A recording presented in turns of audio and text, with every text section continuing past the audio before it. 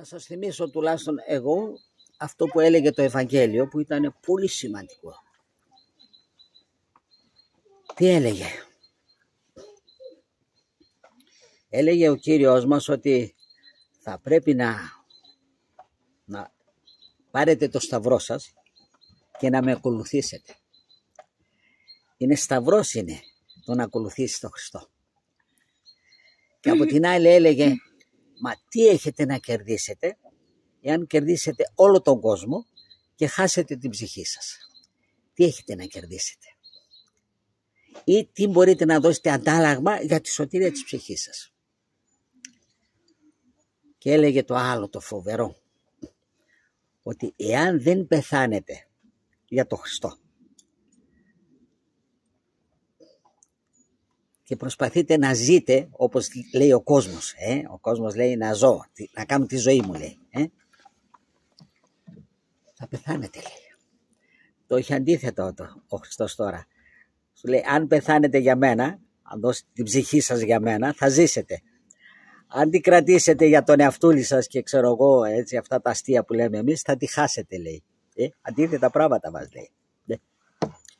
Και λέει θα πάρετε το σταυρό σας αν θέλετε και θα με ακολουθήσετε ούτε από δεξιά ούτε από αριστερά ούτε μπροστά μου. Θα ακολουθήσετε. Τι σημαίνει αυτό; Εμείς έχουμε πρότυπο το Χριστό. Μας άφησε μαθήματα εκεί όταν ήρθε και έγινε άνθρωπος ε, τρία χρόνια εκεί μας έδειξε πώς πρέπει να ζούμε. Και φεύγοντας μας άφησε και την εκκλησία του, μας άφησε το Ευαγγέλιο του, ε, μας άφησε τον τρόπο ζωής προκειμένου να πάμε μαζί του αιώνια στη βασιλεία του.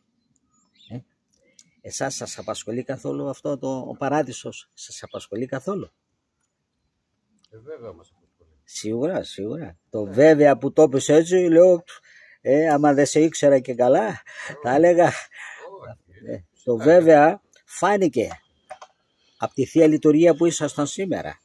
Το βέβαια. Το βέβαια είναι ότι δεν χάνω ευκαιρία με τίποτε.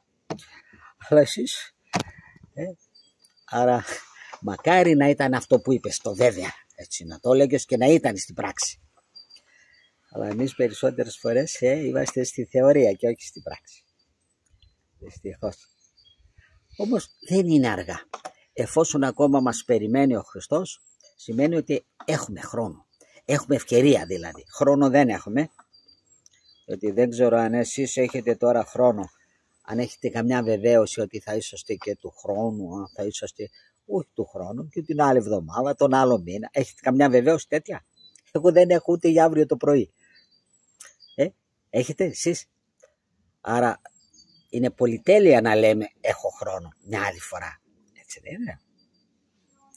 Και με την ευκαιρία να σας θυμίσω έναν, ένα πολύ μεγάλο τεχνίτη ο οποίος μας κλέβει το σήμερα που είναι δικό μας και μας υπόσχεται το αύριο που δεν μας ανήκει. Είναι ο διάβολος. Το μεγαλύτερο τέχνασμα του διαβόλου είναι η αναβολή, ξέρετε. Μια άλλη φορά. Ναι, δεν το απορρίπτω, το δέχομαι, καλό είναι, αλλά μια άλλη φορά, έχω χρόνο, έχω χρόνο. Έτσι λέει εδώ ο αδερφός μας αυτό, αυτό λέει. αυτό τον έχω απέναντί μου γι' αυτό.